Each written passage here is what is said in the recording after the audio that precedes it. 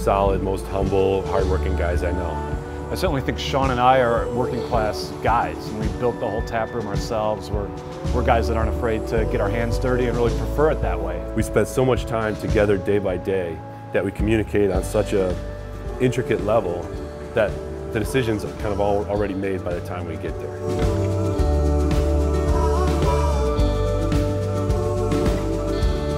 But when we first walked into this space, I think um, when you stand in it, you realize there's, there's kind of a real presence here. It kind of feels like a old school factory. It's kind of the, the feel that we, we wanted to put into Buckle Down. It took some uh, some vision, I think, to uh, to kind of look at a place that was in a real rough state when we got it, and think about what it could be and, and how it could come together for us. We've always said we're all about working with our hands and working hard, um, and I think that's what happens in places like this. I'm a home brewer by uh, trade. That's not, that's not the right term. But um, really had, had a dream of, uh, of opening up a production brewery.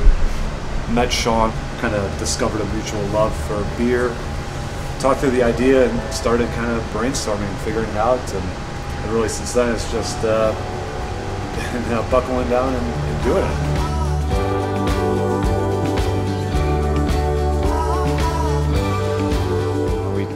Thought about names, really that, that was kind of where we started from. It's like, what do we as individuals, as business owners, as brewers want to stand for? Buckle Down's really a uh, representation of the way Sean and I like to do business, the way we approach things in the world. It's you gotta gotta get after it and kind of chase after your dreams, and that really involves buckling down and, and doing the work and getting after it and having a blast. And that's really where it came from. It's just uh, representative of who we are. Creativity is a big part of brewing too, so our kind of slogan is creativity and determination.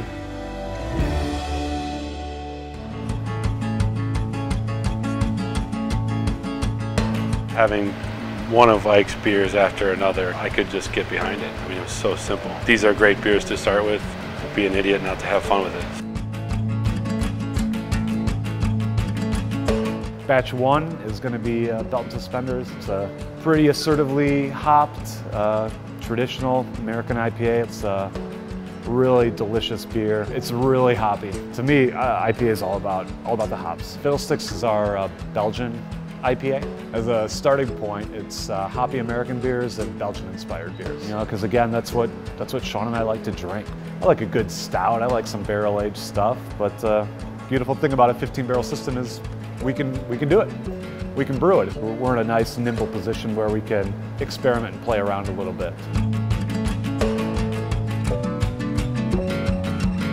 With the emphasis on craft beer and people starting to drink it more, uh, locals becoming more and more important. And so we want people to be able to get it right down the street. I think it's one of the things that really sets local apart from from macro, national, global brands is I want to talk to my customers. I want to explain to them the passion and the, the thought process that went into all the beers. And I think that interaction is, is absolutely critical. You know, when you can talk to the owners and talk to the brewer and really you know, get that inside glimpse at a local business. I think that's what, what people are looking for right now.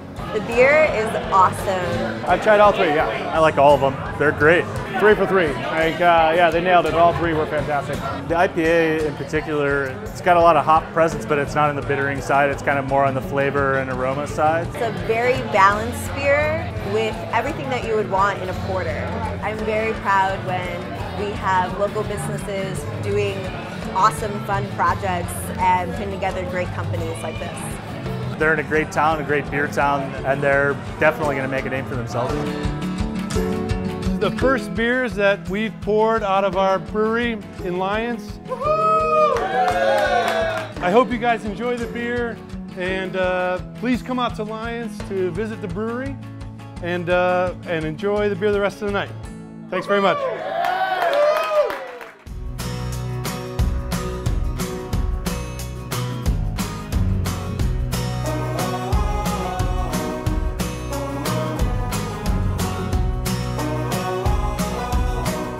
Over the past year putting this uh, brewery together, I don't know if there's anything that could have prepared me for what we've been through so far, and who knows what's to come.